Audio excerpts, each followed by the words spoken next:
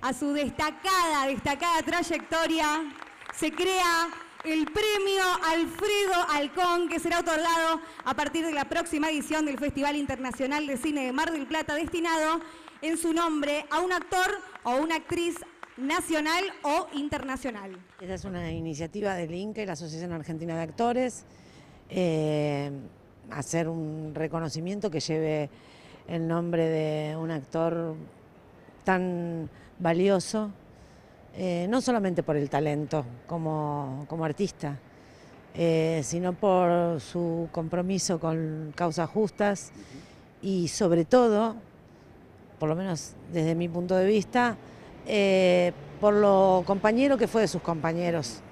También no es algo común.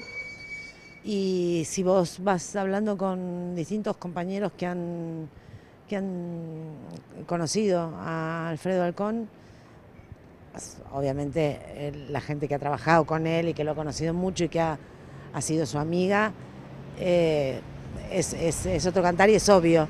Pero en los compañeros que, como es mi caso, no tuvimos la suerte de trabajar con él, sino de habernos cruzado en algunas oportunidades, eh, en esa pequeña anécdota que te puede quedar para la vida, siempre había un sello de su humildad, de su bonomía, de su grandeza como persona. Y me parece que eso es eh, sumado a, su enorme talento, algo eh, muy, muy único. Creo que si hay una palabra que lo puede definir, aunque es muy difícil definir a una persona con una palabra, por lo menos a mí lo que me, la, sensación y la imagen que tengo es que es una persona de una gran integridad.